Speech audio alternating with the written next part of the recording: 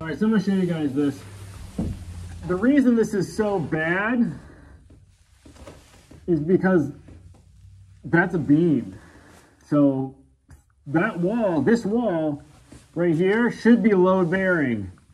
So we may have to structurally support that. When I say may, I mean most likely.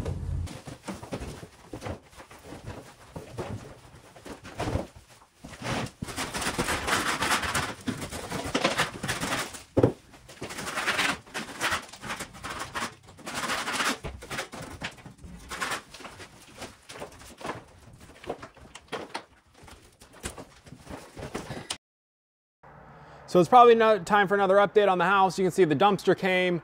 Uh, it's pretty full. We put all the stuff like the uh, dressers and the piano and things like that in there. It all got broken up. My cousins uh, came and helped, and they basically just smashed it all uh, and loaded the dumpster for me, which is actually a huge help. Um, so I wanted to go ahead and give you guys a couple updates on what's been going on. So this floor right here, uh, this is the porch. Uh, it is still leaking. The roof gets done this week, um, but you can actually see up there, yeah, it's, it's not looking so great. Um, you know, I don't know if I pointed this out last time that the rafters actually uh, freestanding right there. It's not connected to anything. Um, so we went ahead and re-supported this floor. So originally what I was gonna do was actually uh, just lay down OSB over this whole floor uh, and then just just paint it like uh, with a with a nice floor paint. Um, but my uncle had a good idea um, to just go ahead and re-support the beams. Um, there's a lot down there actually. You probably can't really see what's going on in there. Um, basically, and I honestly I didn't really help out at all with this. I maybe made a few cuts, but that was pretty much it. Um, just re-supported this whole floor. Uh, this whole beam was rotted out. Same with this one. Um, and then we're just uh, ripping two by fours to just, uh, well, apparently that one's not screwed in, uh, to just make new flooring here. And then I'll paint the whole thing. And I think that that'll actually end up looking okay. Uh, time-wise, it didn't take super long. And cost-wise, it's, it's going to end up being uh, fairly cheap. It was just, you know, a little bit of lumber. Um, so we actually went ahead and just replaced the frame on the door, um, put the actual frame that's supposed to be there. And now the door, you don't have to like close it shut with your shoulder. So that's nice. So here we are inside. Let me turn this, oops, let me turn this light on right here. So that beam that you saw earlier in the video, we actually went ahead and replaced it. And that's why um, my family actually came up to help because I don't really know a ton about structural things. Um, but this actually ended up taking only about an hour and a half, which was a huge blessing. It's just two two by sixes and with a, a piece of uh, 7 16ths OSB in between there.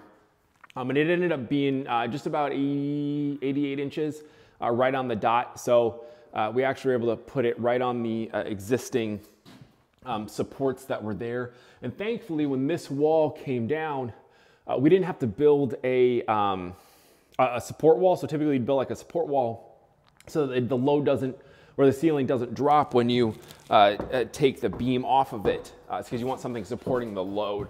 But with how this is, it's actually uh, part of the load supported by this other roof here because this is the this is coming down into the valley. Uh, this is the valley right here uh, on the roof that you can see from the outside because you know this is this is that that real high ceiling over there.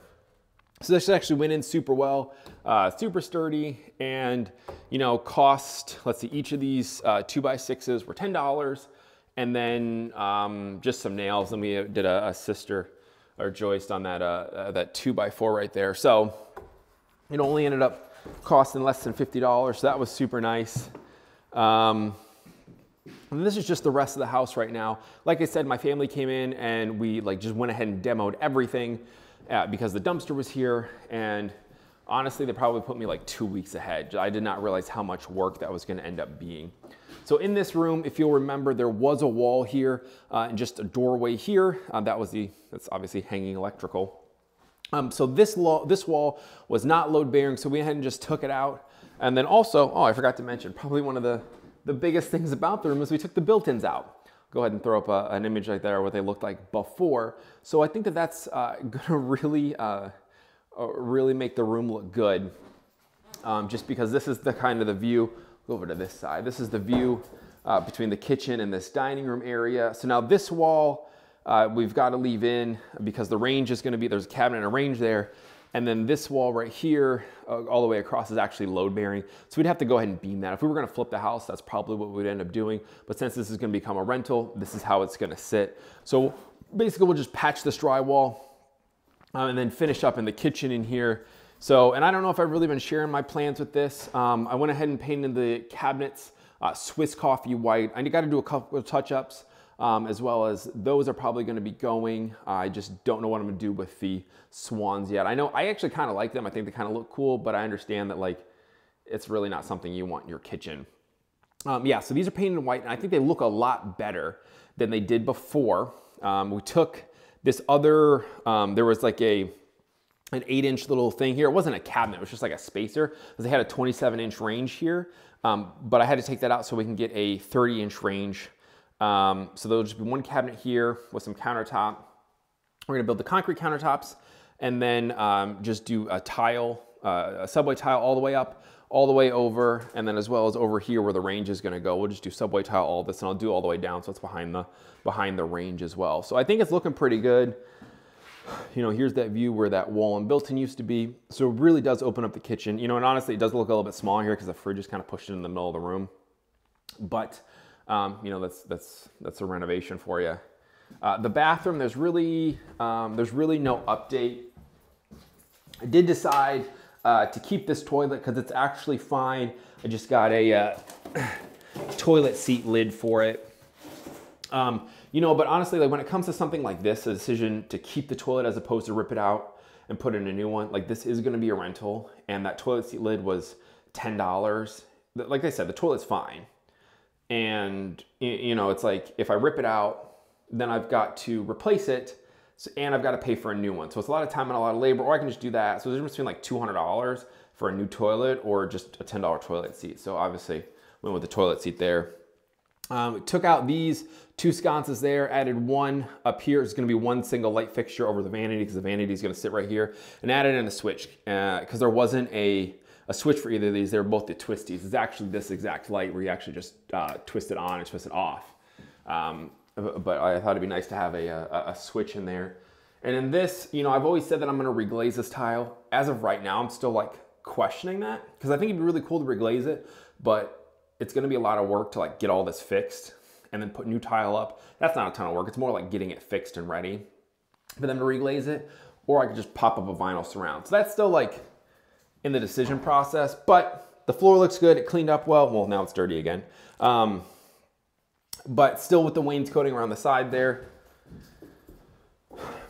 Um, this room didn't really get any update. The wire came down off the window there. I thought that looks good. I'm prepping for paint right there. So I'm just gonna spray the whole thing. So that's why I'm taping off right there. Uh, this room, this bedroom, I don't, it looks the same. I don't, I don't think anything got done to it. I think, I think that one was pretty much ready to go. Um, so we'll go ahead and look, oh here, this is that front. I've never really got to show this um, like front, official front door entranceway because it's, I didn't have a bulb in there. There was always like stuff in there. Um, but I actually uh, just use this as like my storage, my part storage room now. I really love this door. I think that's a really cool feature right there. Um, Fireplace looks the same. Didn't, you know, still leaving it. I went ahead and painted this black. I don't know if you guys saw this before, uh, but it was like a gold color. Just painted it black. There's no, there's no point in replacing it if it's not broken. Just paint it and give it a new fresh look there. Oh, the carpet came up. Um, I know this, it's kind of a, a big thing to miss right there. So the carpet came up. These stairs are fine. The ones down at the bottom here, there's a little bit of an issue. Same with this post here uh, for the stairs. You know, it's, it's wiggling right now because it's not, it's not attached up here. But I'll probably just cut it and cap it because it's not rotted all the way down. And, you know, it's like one of those things, if it's not broken, don't fix it. So I'm just gonna fix what's bad on it. Uh, and then, uh, you know, it'll be fine from there. So these are the hardwoods. These are the original hardwoods from the house that got pulled up. And it looks amazing. You know, it saved a couple thousand dollars worth of flooring and a lot of labor. they're in really good condition. Like as you can see, like I'm pretty sure the camera's picking out how good this is. So I went ahead, I've been working real hard. Before they came, I wanted to make sure to have uh, the upstairs spray. Now keep in mind, this is just like, I did a primer coat, the wall color, the ceiling color, and the trim color all in one day. So it was a lot of spraying, a lot of time. So definitely needs some touch-ups. Like right there, you can see it needs touch-ups, touch-ups. Um, we need some touch-ups on the ceiling up there. But, so we decided to go with Edgecomb Gray for this because it was a nice cross between a gray and a beige. I'm trying to, trying to get some good lighting. The electrical's disconnected up here. But this is the master bedroom. Again, it did have the carpet.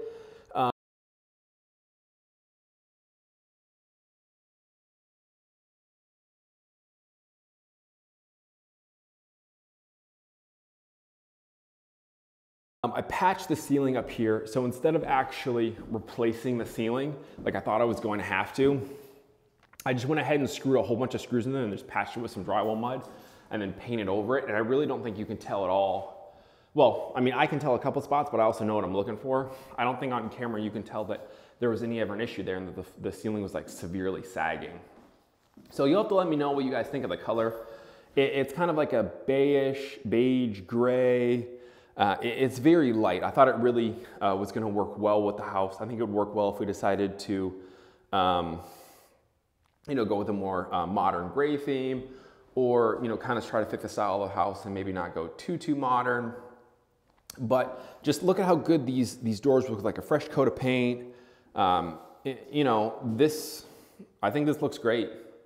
Um, you know, overall, like I said, my aunt went ahead and touched this up um, because I had the same issues like I did in the other room. Just really, you know, uh, it was a quick spray. And honestly, this is the first time I've ever painted inside a house. I've only ever painted like outside. So um, it was definitely a learning experience for me and I definitely can't spray four different colors all in the same day. And this is the upstairs bathroom. We went ahead and gutted it. I'd had the vanity there and the toilet there. Um, it started to get primed here um, and then I sprayed it with the ceiling paint. And so I'll just continue to patch this and then I'll probably spray this, um, you know, in a day or two. So um, that's, a, that's a lot of the update. And I wanted to show you something that's actually really, really cool if you're doing your own fixtures and something to look for is that this is maintenance paint. It's literally just white paint. But where this lies is that this is $32. And it's literally just flat ceiling paint.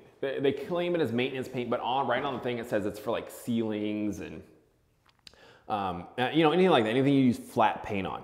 So for something like ceilings and closets, like it doesn't make sense to spend 120, 130 dollars on a five gallon pail of like Behr Premium Plus when you can buy this maintenance paint for literally $30. I, I, I bought it at Lowe's um, with my Lowe's credit card. So I think I ended up being like 29 or $28 or something like that before tax. So this is definitely something to look out for, you know, because that, that pail right there was I think 120 or 130 um, for the eggshell enamel there. That's the, that's the wall color pail. Um, and then another thing to look at is that this is, I actually went with an oil-based primer in the upstairs. Um, just, uh, I don't know why, I was just giving it a try. It was, it was high hiding. Um, I used oil-based on the uh, cabinets downstairs. There'll be a video coming out about that eventually.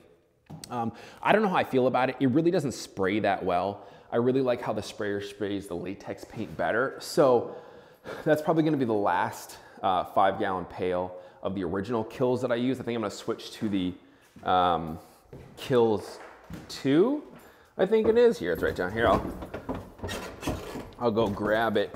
But it's, it's like the Kilz 2 is cheaper. All right, I'll show you this one. This is actually just an old two gallon that I had. But the, the Kilz 2 is cheaper. This latex based one is cheaper. It's only, I think, 60 some dollars uh, for a five gallon pail or 65, where the original Kilz, the original oil based one is like 75 or something like that. So, you know, if I don't really like how it sprays out of the spray gun, it like, I just can't, I just can't get the settings right. I don't know if I'm using the wrong tip whatever it is, but I don't want to buy a new tip. I could just spray latex paint and then just get like literally this perfect finish. So I'm just gonna go ahead and just switch over to the Kilz latex based primer and just hopefully it holds well with this paint um, because it does say you can use the latex paint over an oil based paint. And I went ahead, um, you know, just because this, paint is so old that I was like, oh, I'll throw some oil-based over it to make sure we don't have any issues. Um, you know, oil-based primer than latex-based paint. Um, but uh, it says you can use the latex-based primer over the oil paint. So we're gonna see how that goes. And just the fact that it sprays so much better, I think it's gonna be worth it. Oh, and it's a little bit cheaper, uh, which is which is pretty nice actually. If you like this video, it'd be great if you hit the like button. That'd really help me out for the YouTube algorithm. Also, if you wanna follow along with this project, this, this rental property house project that I'm doing right now, it'd be cool if you hit that subscribe button to follow along. I'll be continuing to post more videos. But anyways, I'll catch you later.